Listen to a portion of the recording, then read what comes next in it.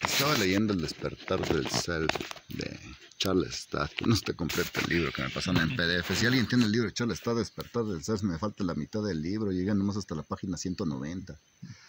Escanéamelo y te pago, porque nos dejaron en medias. Y dice que el camino del fakir eh, tiene que ver con el cuerpo físico, el camino del monje con el cuerpo emocional, el camino del yoga con el cuerpo mental, el camino del hombre ladino con el cuerpo, imagino, espiritual.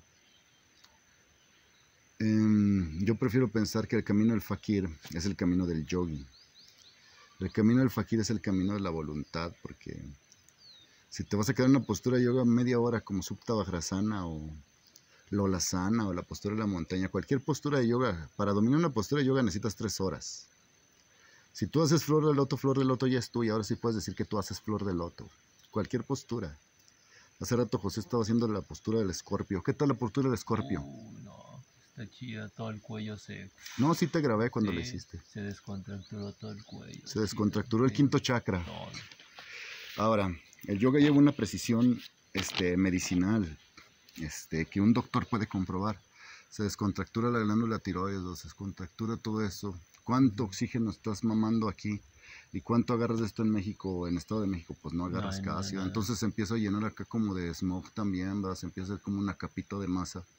Y cuando sientes que respiras, pues es porque la glándula tiroides se libera y dices, ah, estaba bloqueado hasta ahí, ¿verdad? La voz, ¿verdad? Ah, la voz. quinto chakra. Se bloquea toda la fábrica de energías, hay que estarla desbloqueando diariamente. No piense usted que, que las bisagras hay que atenderlas como si fuera un coche cada 10 mil kilómetros. No, pinche rodillas diario, diario. Flor de loto, güey, aférrate a flor de loto, ¿para qué? Es que en flor de loto, mira. En flor de loto, cuando hacemos flor de loto, haz de cuenta que en flor de loto qué rico esta metronómira. Cuando haces flor de loto, que estás en flor de loto, haz de cuenta que estas partes de aquí, los músculos psoas se descontracturan, pero también los tobillos, todos los canales de energía que hay aquí en flor de loto. Y la, pos- y la, este, la, la, la energía se cierra, se cierra, la energía de los pies se cierra y se hace el chakra muladhara, el malhud y el yesod se juntan. En flor de loto, Malhud y Yesud se juntan. Entonces la energía va para arriba en flor de loto. Y es cuando empiezas a hacer las respiraciones de manteca chía, que 28 respiraciones con los testículos. No, haz unas 50, ¿verdad? Acá, con un mala velas contando, una acá suave en silencio. Y lleva toda la energía subiendo hasta el tercer ojo. Aquí déjala. Ahí déjala en flor de loto. Y luego contrae 81 veces acá el recto, ¿verdad? En flor de loto. O sea, son ejercicios previos para que empieces a empujar la energía hacia arriba empujar tu energía sexual hacia arriba, si no, ¿cuándo? Pues eso es mula banda, Ashvini Mudra. Lo importante es que observes que cuando contraes el recto, dice André Van Lissibed, en Tantra el culto a lo femenino, un libro que tienes que tener de cajón si te gusta el arte del amor, sexual, tántrico verdadero, un verdadero tantra, no un neotantra de Osho. Dice André Van Lissibed, ese no es un tantra, ese es un no tantra, ¿verdad? no, ese no es tantra, ese es no tantra, ¿verdad? Entonces dice, te deja muy pocos ejercicios y un chingo de conocimiento tántrico. Pero hay un ejercicio que dice que cuando contraes en Asvini Mudra, que contraes el recto, el ejercicio del ciervo, la atención la pones en cuanto relajas el músculo rectal, el recto, el ano. Cuando lo relajas, que ahí debes de poner tu atención. Y das de cuenta que en el recto se hacen como unas vibraciones.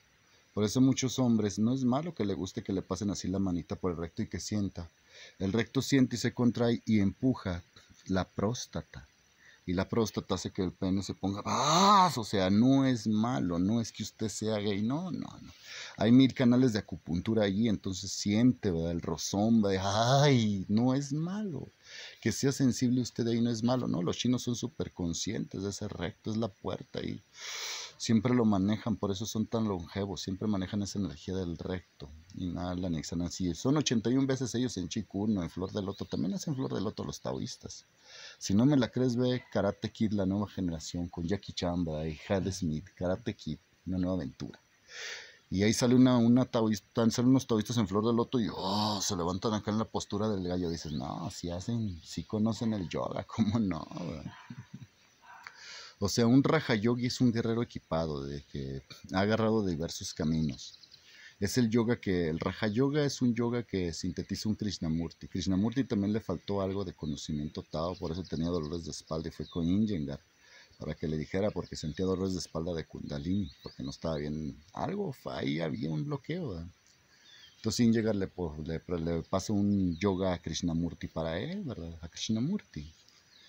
Entonces, este, el Raja Yoga es el yoga ya que practica alguien como Jesús, como Buda, como Moisés, como Mahoma, como los muchos, muchos maestros espirituales y maestras espirituales, hermanas mayores, también practican yoga, Raja Yoga. Es el yoga de los verdaderos maestros de la luz, ¿verdad? El Raja Yoga es el yoga cósmico. Es el que desarrolla los poderes espirituales, el Raja Yoga y es muy rápido, ¿verdad? El Raja Yoga, o sea, es un yoga que te permite desarrollarte rápido, rápido, pero pues ya debes de traer algunos caminos como preparados, ya debes de estar en otro nivel de preparación. Ya debes de saber básicos de Hatha Yoga, cosas así. El Raja Yoga se fomenta en, en lo que es la cruz toda abarcante, la cruz de brazos iguales, o la cruz acuariana que dicen algunos otros, una versión otra lo mismo, ¿no? Son cuatro yogas, Hatha Yoga, Karma Yoga, Nani Yoga y Dhyana Yoga, el yoga de la meditación, porque va incluido el Bhakti Yoga. O sea, en Dhyana Yoga va, va incluido el Bhakti Yoga. Entonces el yoga, el Nani Yoga es el yoga del estudio, el yoga del aire, de la cruz del acuario, ¿no? El aire, el acuario. El Dhyana Yoga es el yoga del fuego, es un kriya, ¿verdad? Es, el yoga kriya. Y Dhyana Yoga, tercer ojo, Kundalini. Karma Yoga es el yoga de Escorpio, del signo Escorpio, la cruz fija de la, de la, astrología, la cruz fija de Acuario. Dos mil años va a estar vibrando esa cruz en el planeta. Entonces, el yoga del servicio es el yoga del Escorpio, silencio, ¿verdad? De eso no se habla mucho se hace, pero no se dice yo sirvo, porque ahí se lo lleva el ego, la energía del servicio, simplemente se hace. Y el Hatha Yoga, que es el yoga de la voluntad, es el del signo Tauro, la tierra, simboliza la tierra. Recuerda que tú tienes los 12 signos. Entonces tienes que estabilizar la tierra, el físico, el emocional, astral, el mental, Nani Yoga, y el espiritual, ¿verdad? También el energético, Kriya Yoga. Ahí están los cuatro cuerpos. Cuando haces esos cuatro yogas en tu día a día, estás haciendo Raja Yoga, el yoga de la era de Acuario, que es el quinto yoga. Pero tienes que hacer esos cuatro para que se haga el, verdadero Raja Yoga. ¿Se entiende? El sistema, qué fácil operan los, los maestros crísticos. Cambio fuera. Hasta José se quedó, ay, güey. Está cabrón. ¿Qué pasó? Está chido, Qué simple es, ¿verdad? Pues sí, pues sí o se habla simple, pero...